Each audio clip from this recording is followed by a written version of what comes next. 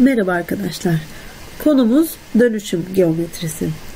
Dönüşüm geometrisine ilk öteleme ile başlayacağız. Bir nesnenin bir yerden başka bir yere belirli doğrultuda ve yönde yaptığı harekete öteleme denir. Ötelemede şeklin, duruşu, biçimi, boyutları değişmez. Biz noktanın doğru parçasının ve şeklin ötelemesini inceleyeceğiz. İlk olarak noktanın ötelenmesine bakarsak biz ne yapmamız gerekiyor? Verilen noktayı bize belirtilen yönde hareket ettirmemiz gerekiyor. Hemen A noktasını 7 birim sağ derse noktanın bulunduğu nokta yerden itibaren 7 birim sayarım. 1, 2, 3, 4, 5, 6 ve 7. 4 birim aşağıda dediğinde 4 birim aşağıya sayarım. 1, 2, 3, 4. Bu durumda A noktasının 7 birim sağ, 4 birim aşağı ötelenmiş hali B noktası olmaktadır. Doğru parçasının ve şeklin ötelenmesini yaparken doğru parçasında veya şekilde bir nokta belirlememiz gerekiyor. Mesela CD doğrusunu öteleyeceğim. Burada D noktasını alıyorum. D noktasını 5 birim yukarıya 5 birim sola öteleyeceğim. Hemen saydım 5 birim yukarıya 5 birim sola. D noktasının ötelenmiş hali ne oldu? D oldu. Biz şunu demiştik. Şeklin, duruşu, biçimi ve boyutu değişmiyordu. O zaman CD doğru parçasına paralel bir doğru parçası çizmem lazım. Bunun için CD'nin boyutuna da bakmam gerekiyor. 1, 2, 3 birim olduğu için buradan itibaren CD'ye paralel olacak şekilde 1, 2, 3 birimlik bir doğru parçası çiziyorum. O zaman CD CD'nin ötelenmiş hali AB'dir diyebiliyorum. Aynı şeyi şekil içinde kullanabiliyorum. Şekilde de burada A noktasını aldım. A noktasını 5 birim sağ, 3 birim aşağıya ötelediğimde ne oluşuyor? D noktası oluşuyor. Aynı şekilde B'yi ötelediğimde E noktası, C'yi ötelediğimde F noktası oluşuyor. Buna tek tek bakmama gerek yok. Ne demiştik? Duruşu, biçimi ve boyutu değişmiyordu. O zaman A'yı bulduktan sonra AB doğru parçası için 4 birimse buradan bir 4 birim çizerim. BC için 2 birim ve birleştirdiğimde ABC'nin ötelenmiş hali DEF'dir diyebilirim. Şimdi koordinat sisteminde öteleme yaparken nelere dikkat etmemiz gerekiyor? Buna bakalım. Eğer x ekseninde e, öteleme yapıyorsam sağ tarafı öteliyorsam absisi öteleme miktarı kadar artıyor. Neyi artıyormuş? Absisi. Peki ordinatı değişmez. Sol tarafı öteleme yapıyorsam absisi azalıyor. Ordinatı ne yapıyor? Değişmiyor. Y ekseninde eğer öteleme yapıyorsam yukarı ötelediğimde ordinatım artıyor, absisim değişmiyor. Aşağı ötelediğimde ordinatım azalıyor, absisim değişmiyor. O zaman şunu diyebiliriz. X ekseninde öteleme yapıyorsak artma ve azalma X ekseninde oluyor. Ama ordinat yani Y eksenindeki koordinatta herhangi bir değişiklik olmuyor. Eğer Y ekseninde öteleme yapıyorsam bu sefer de ordinatım artıyor ya da azalıyor ama x ekseninde yani x koordinatında herhangi bir değişiklik olmuyor. Şimdi burada bir örnekle bakalım. Ne demiş? A noktası eksi 1'e 2 iken 2 birim sağ. Sağ olduğu zaman x ekseninde artma oluyordu. O zaman ne yapacağım? Eksi 1'e 2 ekleyeceğim. Kaç birim olacak? 1. O zaman yeni nokta 1'e 3 noktam olması gerekiyor. Bu e, B seçeneğinde 4 birim sola. Sola olduğu zaman x eksenim ne yapıyordu? Azalıyordu. O zaman 2'den 4 çıkartırsak eksi 2. Bu durumda eksi 2'ye eksi 4 yeni koordinatlarım oluyor. 5 birim aşağıya. Aşağıya olduğu zaman y eksenim azalıyordu. X'e dokunmadım. Y eksenimi 5 birim azalttığımda ne geldi? 2 geldi. Ee, D seçeneğimde yukarı diyor. Yukarı olduğu zaman y eksenim artıyordu. Eksi 3 artı 4'ten kaç geldi? 1. O zaman bunun koordinatları da eksi 1'e artı 1 oldu. Yeni bir örneğe devam edelim. Şekilde A noktasını önce 5 birim sağ öteleyiniz. Elde ettiğiniz görüntüyü 6 birim aşağı öteleyiniz. Son görüntünün koordinatlarını istiyor. A'nı istersem şekil üzerinden yaparak sayarak yapabilirim ya da A'nın koordinatlarını yazarım. A'nın koordinatları önce x eksenimi yazıyorum sonra y eksenimi eksi 4'e 3. 5 birim sağ derse ne demekti bu? X ekseni 5 birim artsın demekti. Yani ne oldu yeni koordinatı? 1 oldu. 6 birim aşağı derse y eksenim 6 birim azalsın demek. Yani yeni koordinatın ne oldu? Eksi 3 oldu. Demek ki a'yı bu ötelemeyi yaptıktan sonra koordinatları 1'e eksi 3 şeklinde oluyor. Başka bir örnek. Eksi 7 6 noktasının x ekseni boyunca 3 birim sola, y ekseni boyunca 4 birim aşağı ötelenmesiyle b A artı B, A eksi B noktası oluşuyor. Buna göre A çarpı B kaçtır diyor. Şimdi ötelenmiş hali B noktasıymış. Hemen x ekseni biri e, boyunca 3 birim sola diyorsa aklıma ne gelecek? Eksi 7, eksi 3. Yani ne olması lazım? Eksi 10. Bu durumda A artı B neye eşit olmalı? Eksi 10'a eşit olmalı. Sonra y ekseni boyunca 4 birim aşağı ötelediyse 6'dan 4 çıkartmalıyım. 2. O zaman a eksi b neye eşit olmalı? 2 eşit olmalı. Şimdi biz bu şekilde verilen ifadeleri iki farklı çözüm yapabiliyorduk. Birincisi yerine koyma, ikincisi yok etme metodu. Yerine koyarken bir tanesini alıyorum.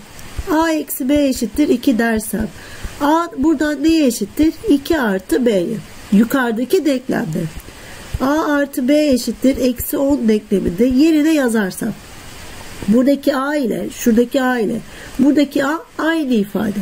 Hemen 2 artı b artı b eşittir eksi 10 2b eşittir eksi 12 b eşittir eksi 6 diyorum. b eksi 6 ise bu ifadede yerine yazdığımda pardon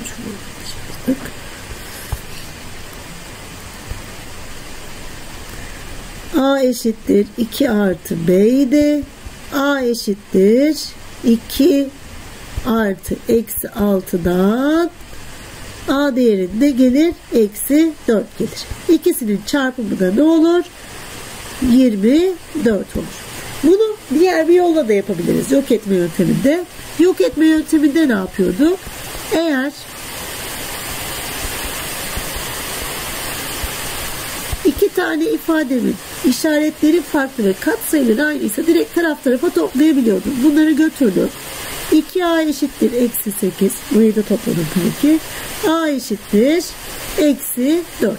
Herhangi bir denklemde yerine yazarsam a artı b eşittir eksi 10'dan eksi 4 artı b eşittir eksi 10. İfadeyi çözdüğümüzde b'yi de eksi 6 buluruz. Bu ikisinin çarpımını soruyordu. Yine cevabı 24 gelir. İki şekilde çözümde yapabilirim. Yeni bir örneğe bakalım şimdi. Köşe noktalarının koordinatları A noktası 0'a 2, B noktası eksi 1'e 0, C noktası 0'a 3 olan üçgenin x ekseni boyunca bir birim sağ, y ekseni boyunca iki birim yukarı ötelenmesinin sağ olduğu zaman x'i artıyordu. Yukarı olduğu zaman y artıyordu. Buna göre yeni görüntümü oluşturmaya çalışacağım. O zaman x'i bir birim, y'yi iki birim arttıracağım. Burada baktığımda x'i bir birim arttırırsam 1 gelir. y'yi iki birim arttırırsam 1'e 4. Bunu bulduk. Buradan x'i bir birim arttırırsam 0, y'yi iki birim arttırırsam 2. Bunu da bulduk. x'i bir birim arttırırsam 1, y'yi 2 birim arttırırsam 5. Bunu da bulduk. Bize olamazı sorduğu için cevap Adana olmalı. Yeni örneğimizle devam ediyoruz. ABCD paralel kenarı verilmiş şekilde bize. Bu şekildeki paralel kenarın 6 birim sola 5 birim yukarı ötelememizi istiyor ve sonunda oluşan köşe koordinatlarını bulalım diyor. Hemen bütün noktalarımın koordinatlarını yazarım. A noktasının koordinatları Önce x eksenimi sonra y eksenimi yazıyorum. Yani 3'e eksi 2'dir. B noktasımın noktamın koordinatları 2'ye eksi 5. C noktasının koordinatları 6'ya eksi 5. D'ninki ise 7'ye eksi 2'dir. 6 birim sola 5 birim yukarı diyor. Sola öteleyeceksem x koordinatım azalacak. Yukarı öteleyeceksem y koordinatım artacak. Şimdi 6 birim sola da hemen x'lerden ne yapacağım? 6'yı çıkartacağım. 3'ten 6 çıktı. Eksi 3. 2'den 6 çıktı. Eksi 4. 6'dan 6 çıktı. 0. 7'den 6 çıktı. 1 geldi. 5 birim yukarıya diyor. Yukarı ötelersem y eksenlerim ne yapacak? Artacak. 3 0 0 ve 3 olmalı. Demek ki yeni oluşan A üssü, B üssü, C üssü, D üssü nokta bu noktalarmış derim. Yeni örneğimle devam ediyorum. Bir e, köşe koordinatları verilen KLM üçgenim var. Koordinatlarım bunlar. Ötelenmiş hali de K üssü, L üssü, M üssüymüş. Bu üçgende L üssü noktasının koordinatları eksi 6'ya 0 olduğuna göre KLM üçgeninin üçgenine aşağıdaki ötelemelerden hangisi yapılmıştır diyor. Hemen L'nin ilk baştaki koordinatları neymiş? Eksi 4'e 2'ymiş. Daha sonra ötelendikten sonra ne olmuş? Eksi 6'ya 0 olmuş. Tek tek inceleyeceğim. Önce x eksenimi aldım. Eksi 4'ten nereye gelmiş? Eksi 6'ya. Ne olmuş? 2 birim azalmış. Azalma olduğu zaman nereye hareket ediyorduk? Sola. X ekseninde olduğu için 2 birim sola diyoruz. Bu birincisi. İkinci olarak da y ekseni 2 iken 0 olmuş. Yine ne yapmış? 2 birim azalmış. Bu sefer de ne yapmış oldu? 2 birim aşağı hareket ettirmiş oldu. Bu da hangi şıkta var? B seçeneğinde mevcuttur. Şimdiki konumuz ise yansıma.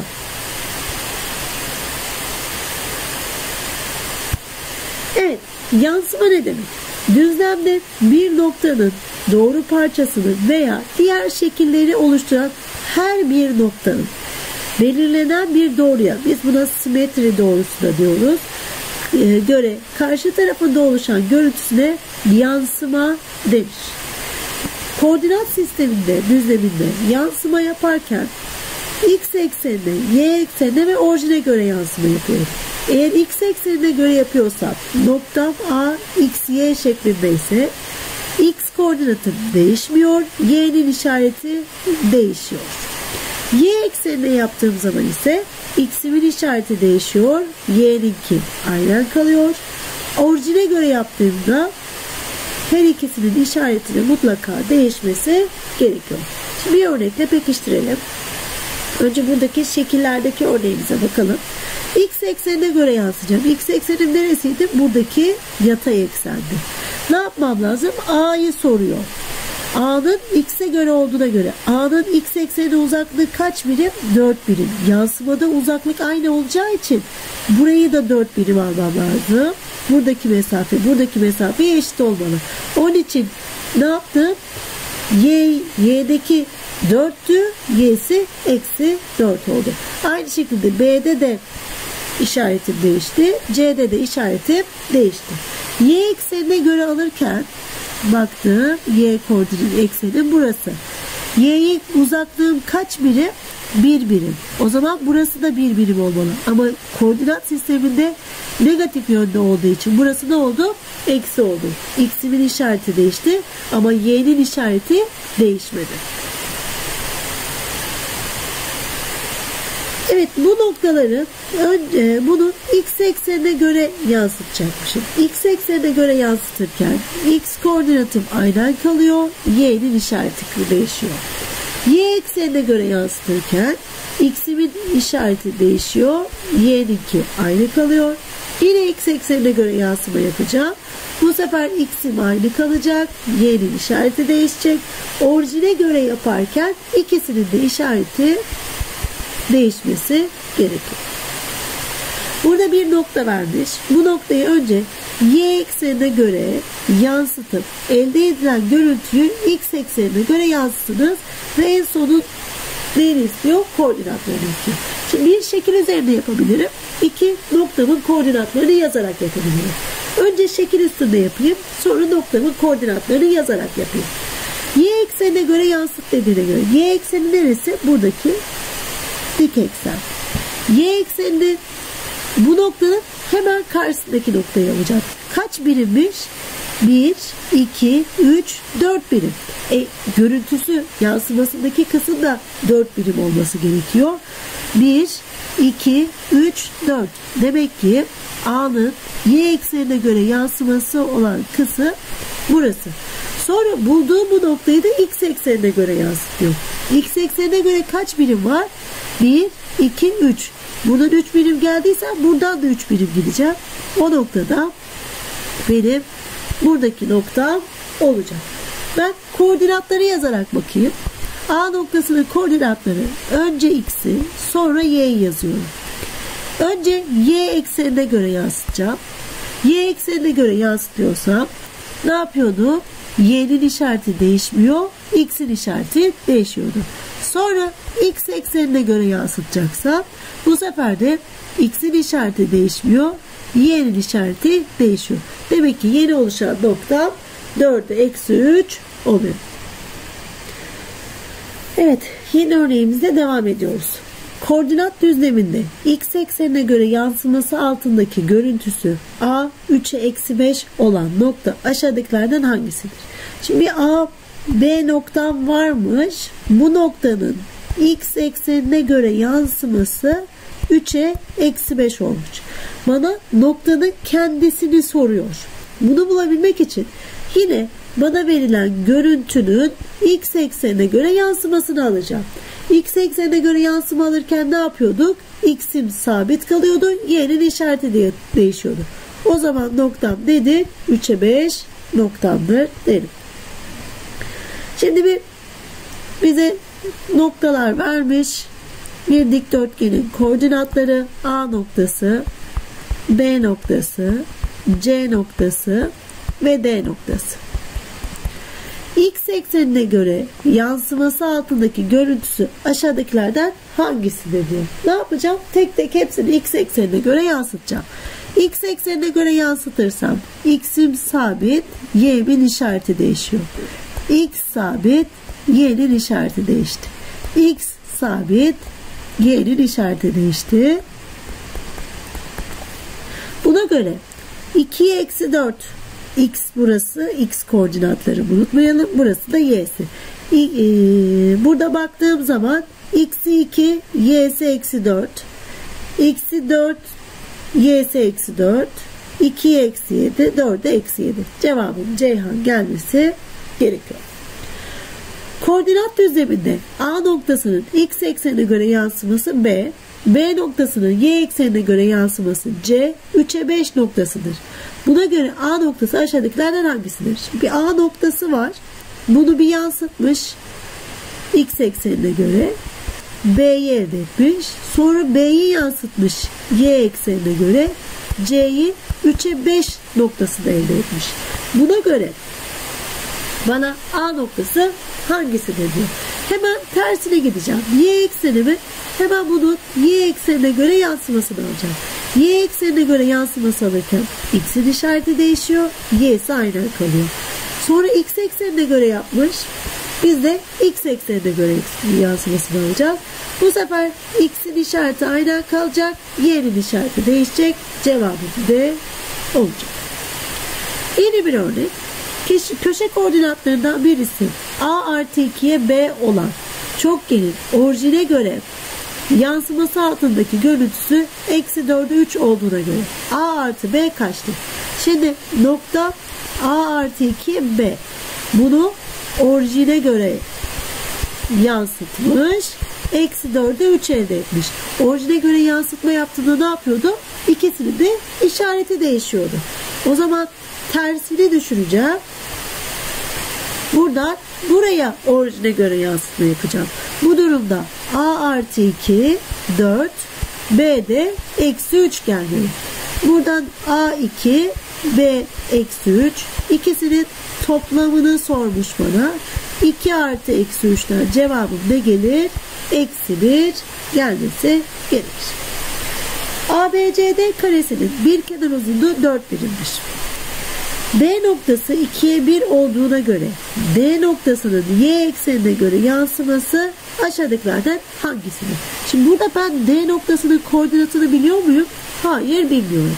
Sadece B'yi biliyorum ve kenar uzunluğunun 4 birim olduğunu. Ben sadece B'nin koordinatından çıkarak giderek A'yı, B'yi, C'yi, D'yi hepsini bulabilirim. B'nin koordinatları 2'ye 1'miş.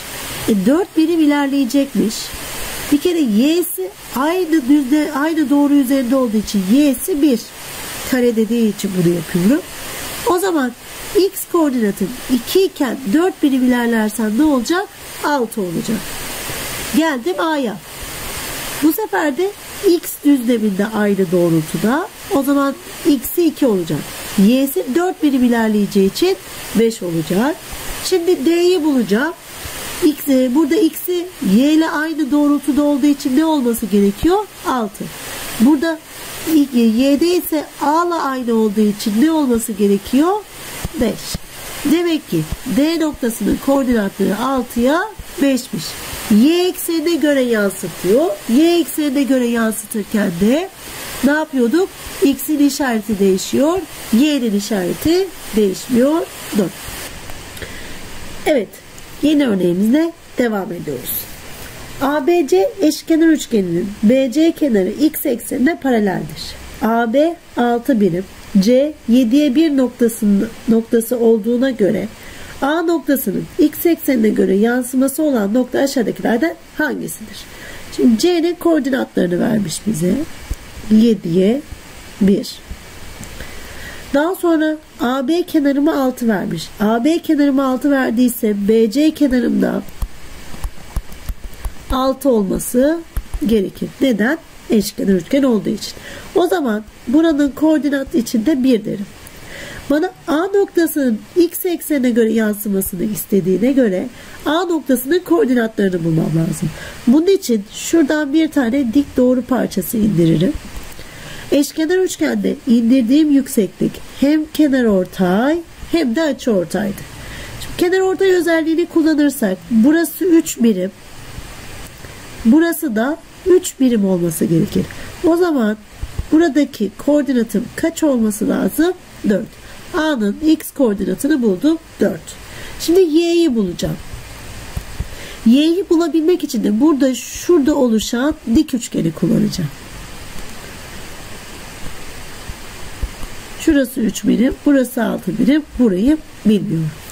Şimdi ben e, Pisagor mantısını görmüştüm daha önceden. Biliyorum ki dik kenarların uzunluklarının karesi 90'ın karşısındaki yani hipotenüsün karesi de eşit.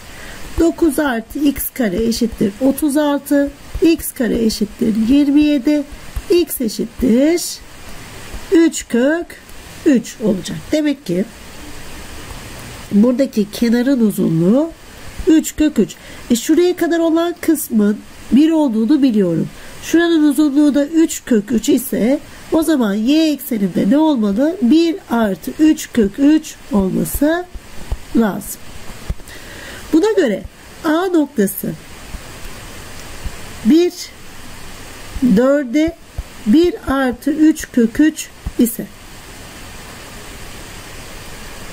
bunun x eksenine göre yansımasını aldığım zaman x'im 4 kalacak.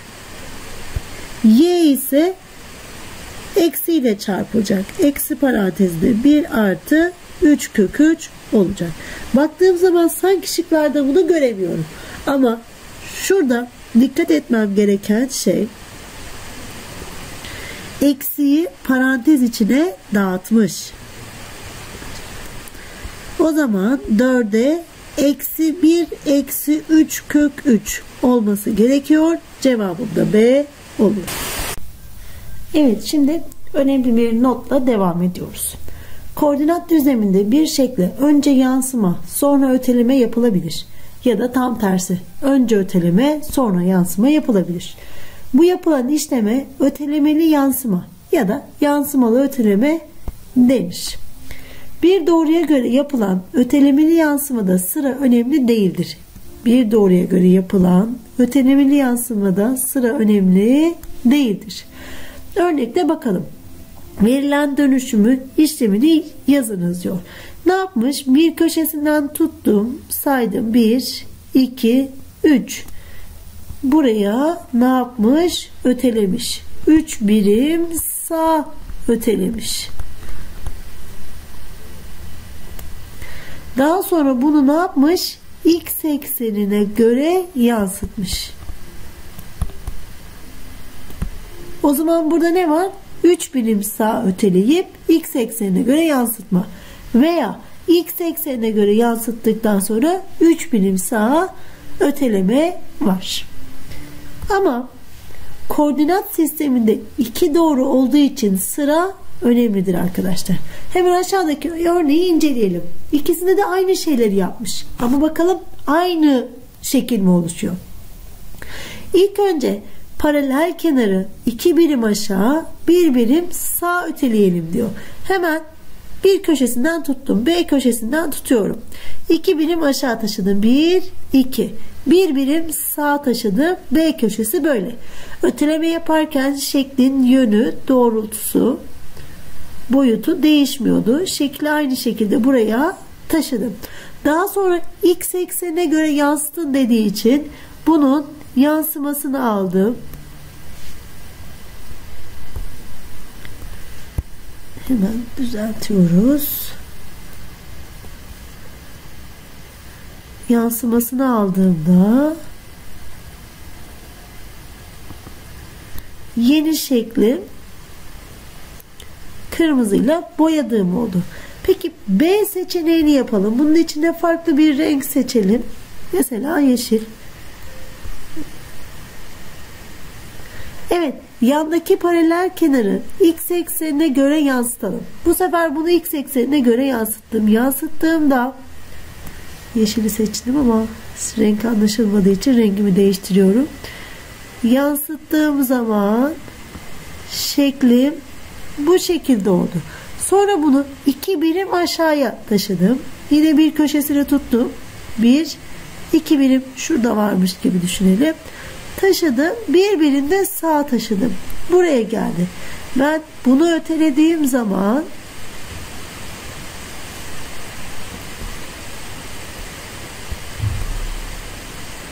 Evet. Ötelediğim zaman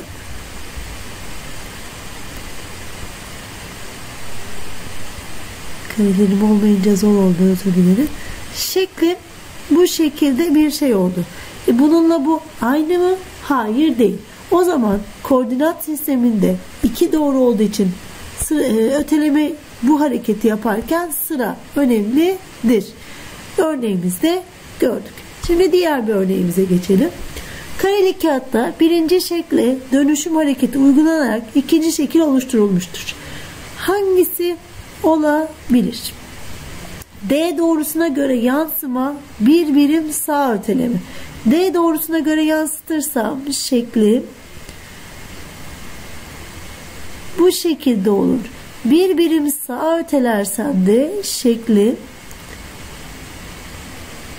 bu şekilde olması gerekiyor. Ama şeklim öyle değil.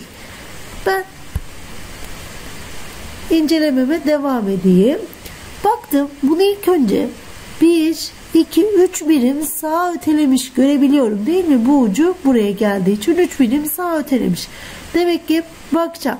Bunu eledim. Bunu da eledim. Bu 3 birim aşağı dediği için bunu da eledim. O zaman cevabı Denizli diyebilirim. Diğer örneğime baktığım zaman kareli kağıtta verilen süslemeye göre aşağıdakiler ifadelerden hangisi yanlıştır diyor. Tek tek inceleyeceğim.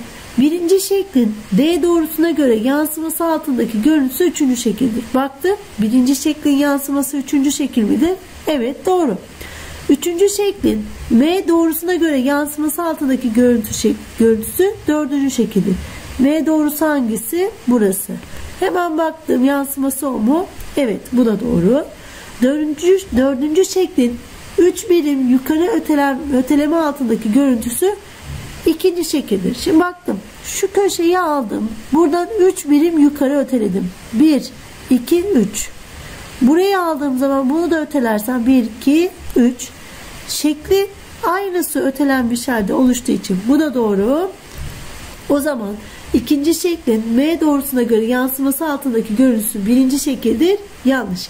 Hemen doğrusuna bakalım. Bunun yansımasını aldığım zaman şeklin